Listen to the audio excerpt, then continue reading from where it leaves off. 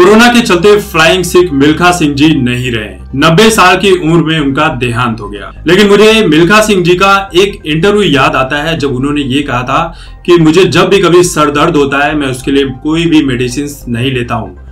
मैं सुबह एक लंबी दौड़ लगाता हूँ और मेरा सर दर्द गायब हो जाता है। और यही उनकी सेहत का राज था नब्बे साल की उम्र में भी। लेकिन कोरोना के चलते हमने कोहिनूर को खो दी उनकी ज़िंदगी पर एक फ़िल्म बनी थी भाग मिल्खा भाग, जिसमें फरहान अख्तर ने काम किया था। फ़िल्म सुपरहिट थी, सभी को पसंद आई थी। आज हम भले ही फरहान अख्तर को पसंद नहीं करते पसंद नहीं करने की बहुत सारी वजह भी है, क्योंकि उनकी फैमिली को हर चीज़ में प्रॉब्लम ही नज़र आती है। बेवजह राजनीति में घुसे रहते हैं, जबकि साल 2014 के पहले इनकी फैमिली राजनीति को लेकर कभी भी कोई टिका टिप्पणी नहीं करती थी।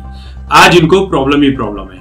लेकिन बात मिल्खा सिंह जी को लेकर है तो फरहान अख्तर का नाम तो सामने आना ही है। इस फ़िल्म को देखने के बाद अभिनेता नसरुद्दीन शाह बहुत ज़्यादा नाराज़ हो गए थे, बहुत ज़्यादा भड़क गए थे और पूरी फ़िल्म को फर्जी बता दिया था, बकवास बता दिया। नसरुद्दीन का ये कहना था कि इसमें कोई दो राय नहीं है कि फरहान अख्तर ने इस फ़िल्म के लिए कड़ी मेहनत की है, लेकिन सिर्फ़ बाल बढ़ा लेने से और बॉडी बना लेने से अभिनय नहीं होता। मिल्खा सिंह जी पर भी नसरुद्दीन शाह ने सवाल किया, फरहान को कम से कम मिल्खा सिंह जी जैसा दिखना चाहिए था। मुझे पता है कि मिल्खा सिंह जी उनके अभिनय से खुश हैं क्योंकि ये फ़िल्म उनके जीवन पर बनी लेकिन क्या मिल्खा सिंह जी ने ऐसा सोचा कि जैसा मैं उस वक्त दिखा करता था, क्या फरहान अख्तर इस फ़िल्म में मेरे जैसा दिखता है? क्या उनके पास 1960 के ओलंपिक की उनकी कोई अपनी तस्वीर नहीं है?